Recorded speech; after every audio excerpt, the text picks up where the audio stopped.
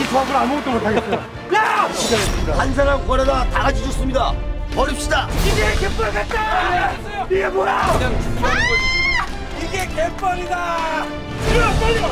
빨려! 최강 자민이 그랬습니다. 살 사람은 살자고. 어, 이게 뭐야? 더 이상 못하겠어요. 가자! 뛰어, 뛰어, 뛰어, 뛰어, 뛰어! 집에 갈 거야! 야, 앞으로 가라고 좀! 나! 연예인이다! 연예인이다!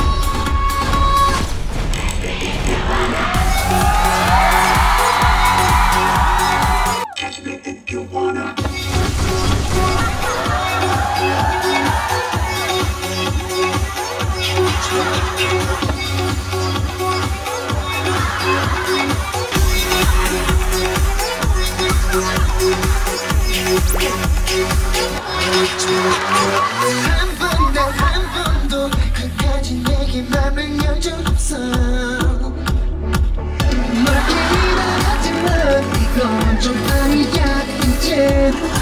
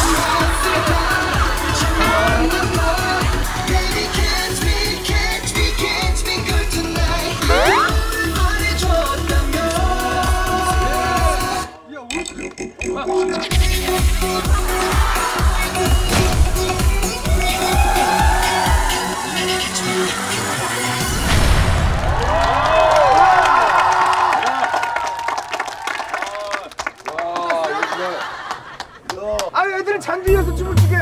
뭐 하시길래. 아이고, 천천히 있는 거야, 지금? 자, 이거. 근데 이렇게 새벽 아침에 춤춰보긴 처음이에요. 아니 아침부터 이 스타들을 이저 잔디밭에 그 그러니까. 만들고 지금 아이 무릎 봐 무릎 아 정말 열심히 하더라. 어.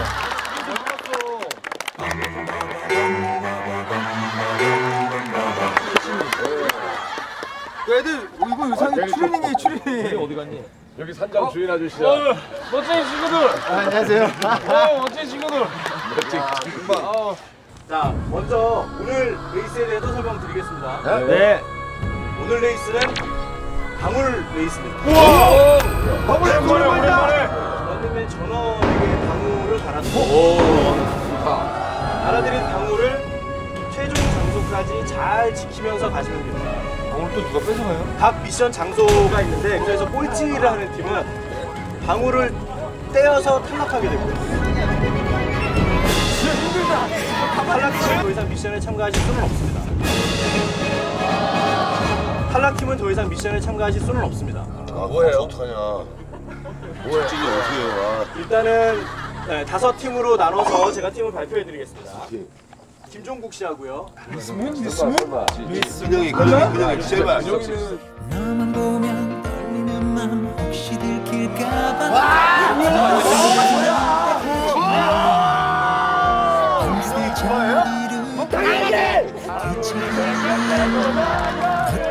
밤새 잠기루 대체 너 때문에 눈물을 정말로.